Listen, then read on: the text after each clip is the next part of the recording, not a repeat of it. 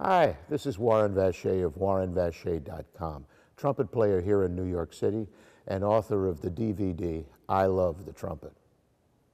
Let's talk a little about trumpet mutes.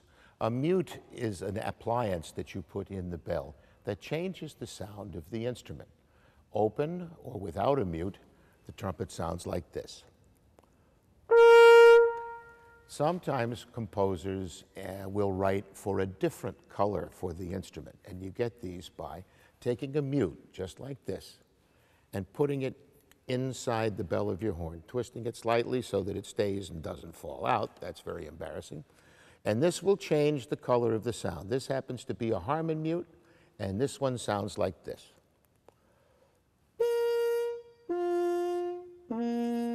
Very quiet, sort of brassy.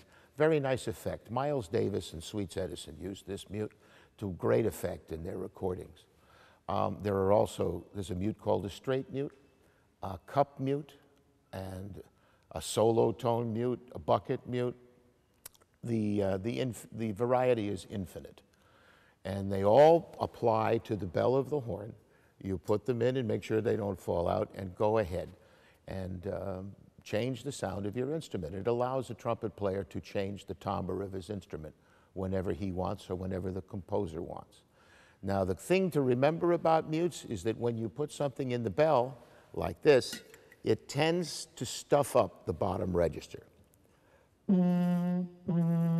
So when you buy a mute in the store, make sure you try one and make sure it doesn't stuff up the bottom end of your horn.